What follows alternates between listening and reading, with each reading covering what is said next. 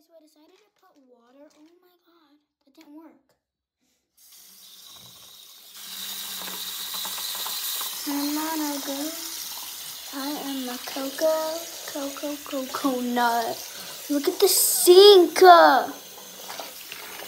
Day one of making this water, a bunch of different colors. Let's get into it already though.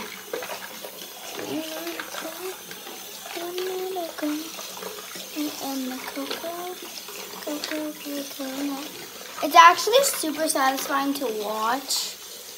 And look at my hands. Let's just go with this. Oh my god. It's kind of like a dump weird water. Like a gross kind of water.